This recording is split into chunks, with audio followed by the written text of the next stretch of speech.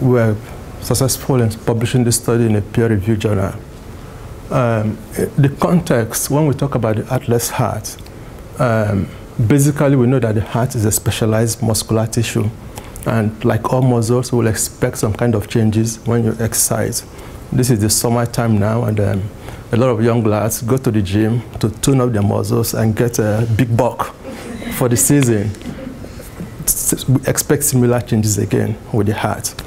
Um, but basically, in the scientific literature, the concept of cardiac adaptation to exercise is that it follows um, a dichotomous pattern in the sense that on one spectrum, the heart of an athlete um, exhibits a balanced kind of hypertrophy where there's an increase in dimension and increase in wall thickness.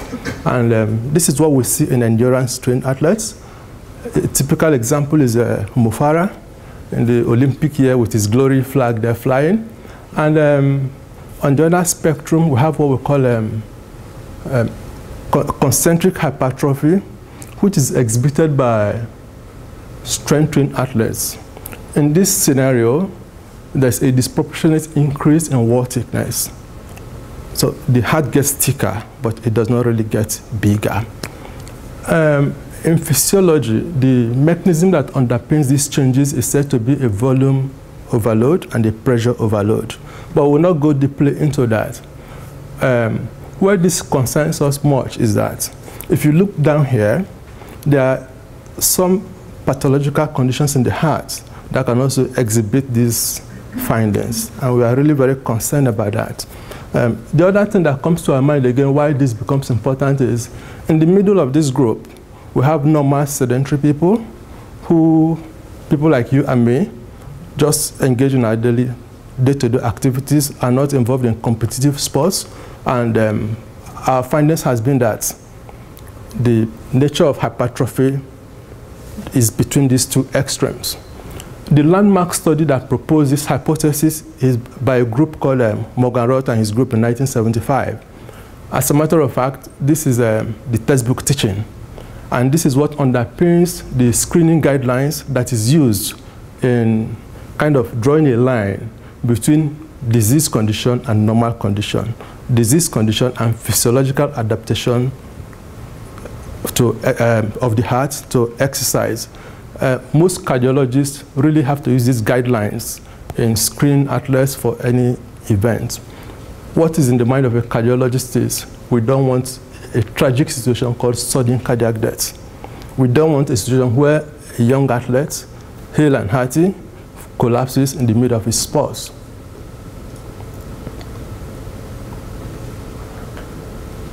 So if we cast our mind to the incidence of sudden cardiac death, it is not an uncommon condition because here in the UK, as much as 12 to 19 people die every week.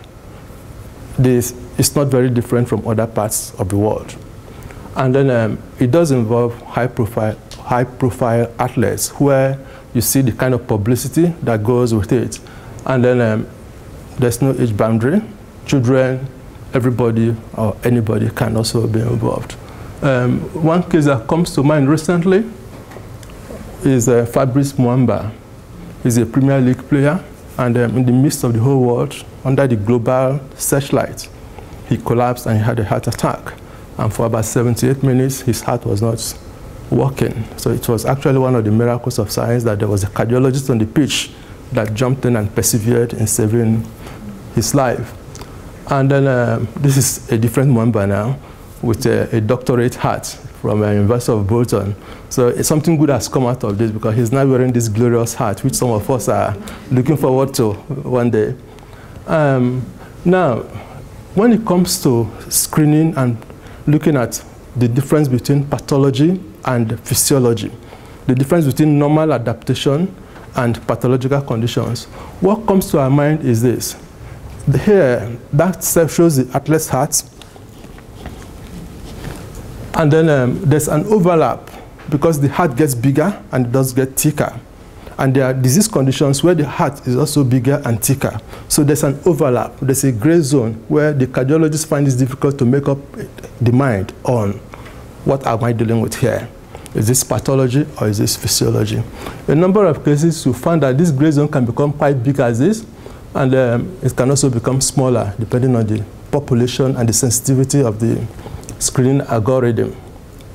This screening algorithm, as I said earlier, was proposed based on Morganroth's hypothesis. So the questions that arise is this. The Morganroth study was done in 1975. That's 35 years plus. Does it still stand? Secondly, if we look at the study done by Morganroth and his group, it's a landmark study. But the equipment that was used was ultrasound. Cast our mind back to what ultrasound was like in 1975. We can relate it to what television was like in those days. It was basically black and white. So the resolution was not what we can compare with what we have today. Today now we have um, echocardiography has improvements in technology. We also have a magnetic resonance imaging, and we are talking about 3D image and 4D. We now have high-tech ultrasound machines and um, um, 4D MRI scanners as well, that the images they get are not comparable with what we've had earlier on. In the scientific literature, there's been lots of controversies over particularly how the heart adapts to exercise in resistance trained athletes. And there's been questions, different studies have come up with different answers. And a number of times they are all small, small studies. There have also been previous meta-analysis looking at these issues, but the results were actually inconclusive. So the other um, third question that also arises is the impact of body size. How do we relate somebody who is very, very big, six footer, with somebody who is small? What do we expect of the dimensions of the heart? And is it right to use the same screening algorithm? If we're going to correct for size, how do we correct for size? In other words, is a big heart a better heart? There's a need to normalize data. So these are the things that prompted our re-evaluation of this hypothesis wanting to look at how to collect this data together. There are small sample studies, but we really need to be very um, scientific in making sure that we are not putting apples and oranges together. We have to make sure that we control for differences and heterogeneity and make sure that the studies we are looking at are actually answering the same question. So we set out on a study where we looked at prospective trials. Uh, our data was extracted by two independent researchers. Uh, we sourced data from electronic database, looking at these databases. We also looked at reference list of previously published data and did a cross-reference search of these uh, papers. Um, in a few cases, we had to make contact with um, experts in the field for unpublished data or where data was not complete. Our study selection were for echocardiography and magnetic resonance studies between 1975 and 2012. We looked at male athletic populations, between the ages of 18 and 45. We excluded female athletes, master athletes, and combined sports, or cases where there were steroids and uh, cases where there were disease conditions. This was because we wanted to make it a very homogeneous, tight group, as I said earlier, to control for heterogeneity. Um, part of what we also had to do was to use the STROBE statement and the Prisma statement as a guideline to strengthen the observation of these um, studies. Um, this diagram here shows the flow diagram of the literature filtration process. We entered this study with about 400 plus clinical trials at different levels from the title, the abstract, to when we had to extract the paper. We have an inclusion line and a filtration line. And at the end of it, we applied our checklist and we came down to 92 trials with over 4,000 subjects. These were included in the quantitative synthesis. The specific measures that we looked at were the structure of the heart, we looked at the function, we also looked at, we compared what data we have from echocardiography and MRI.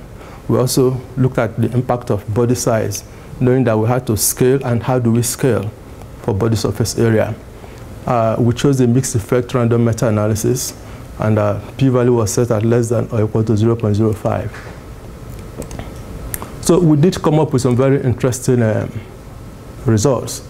I will just uh, emphasize on this section. Um, when we looked at the structure of the heart, when we looked at the mass of the heart, we did see that the athlete groups had higher values compared to the control group.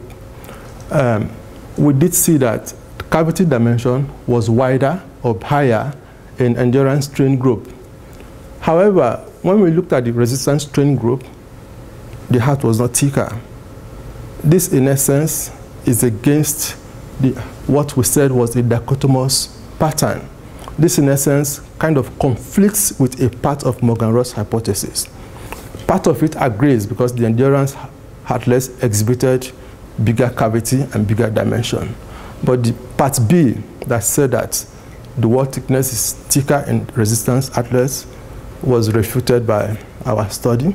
Um, we look at the function and we saw that overall function was normal and we saw a higher stroke volume in endurance trained athletes.